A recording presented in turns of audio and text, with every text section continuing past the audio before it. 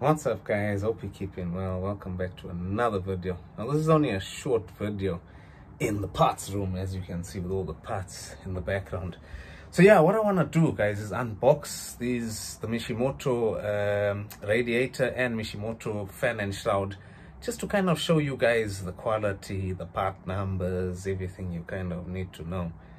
Um, so it's nothing majorly exciting, but I just thought in case someone does want to buy one of these, they might want to see what the quality is like before they buy one. So I'm going to try and do a close-up with, you know, the camera and try and get what the welds look like and the basic overall gist of what they they are. For some reason, I'm actually happy that I actually opened this upside down because normally you'd open that side, but I managed to find all the hardware for this thing on this side. You know what I mean? So luckily, I actually opened it from the the bottom was if I did open it from there I wouldn't have known that the stuff is underneath here which is your your foam um, tape that's supposed to go around the shroud so that it obviously kind of I don't know seals it in fully so that it I don't know it's more efficient if you want to put it that way.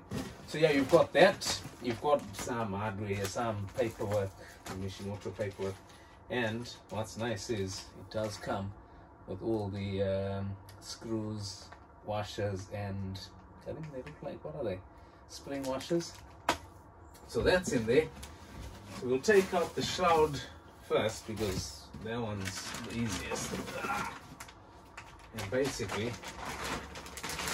let's open that up. That off? That looks that looks super smart. What I do like with this guys is it retains your your genuine Honda clip as well. So it's just plug and play, literally. I know my car's, I think, been chopped and messed about with. I don't think it's going to be plug and play. But, yeah, that's what that looks like anyway, guys. I'll get a better close-up of that. Let's take the radiator out. So first of all, that comes with some silicone lubricant. I think this is for all the um, all the pipe work. Once you put in the pipe work on, I think you put it on there just so that the joints it, they go in easier. I think basically. I have opened this when it arrived just to double check that nothing is broken, and it's actually quite a lovely radiator. So from that angle, it looks like so. And from that angle, it looks like so. Nice 1.3 bar cap on there as well. So closer up, as you can see, that's what our welds all look like. Actually looks decent quality. I think Mishimoto and the bonus part of all this, lifetime warranty, you can't really argue with that, can you? You know, as you can see. This looks like it's got a small little dent in there actually, but other than that, all them welds all look good. Do you know what I mean? It actually looks nice. Same with underneath. It all looks cool.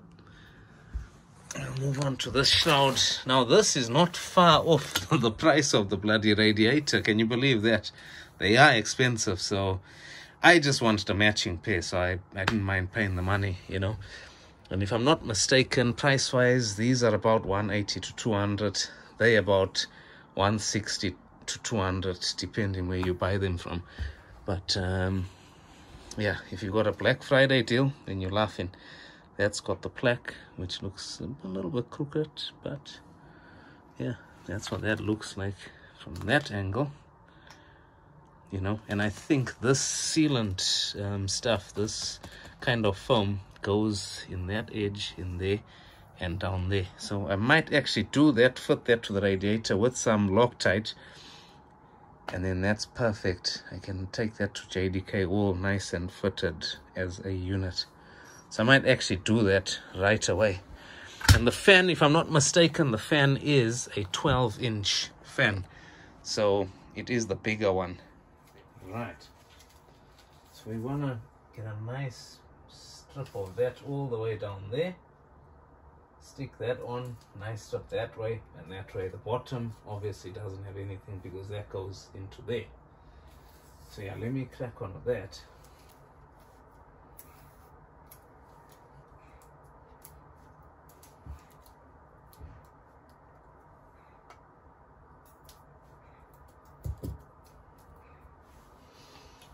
Right, perfect guys, as you can see, we've got that nicely all around there.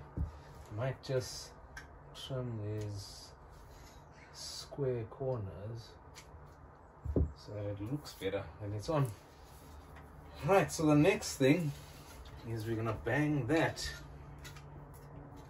onto there and the fitment is lovely as I said with the bottom you don't put any strip there because that kind of goes only up to there so. So yeah that's where that wants to go. So make sure that that is flush on either end and it's actually central in each hole as well. You know what I mean? Which is great so. Right good cup of tea right oh.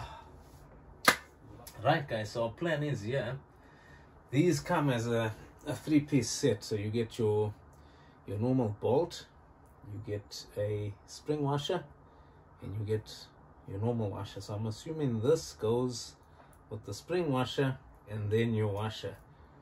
It's kind of big small to big rather than big to small if that makes sense. But what i'm going to do here because i do this with a lot of stuff that sees vibration i'm going to put a small little bit of Loctite. Just a little bit so that these screws don't come loose. As you can see there a little bit of Loctite doesn't it. Can be a pain when you're taking them out again but like this it should be fine.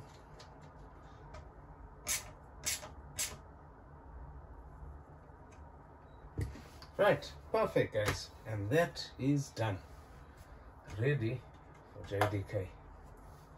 That's how that looks. I mean, look at that. You can't beat that. You know, a plastic shroud versus an aluminium one or aluminum one if you're in America. You can't beat that, can you really? That looks absolutely perfect. On a closer inspection is what that looks like. You know what I mean?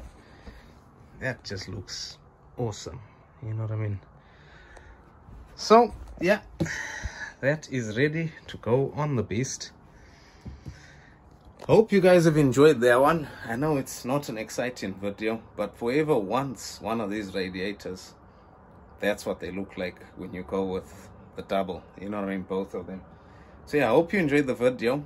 Hopefully the next one will be the civic completed and i can run through everything because i don't even know what else we're going to add on to the civic's build at this point. But anyway yeah thought I'd show that. But yeah, enjoy yourselves, guys. Have a good weekend. Take it easy. Cheers. Bye.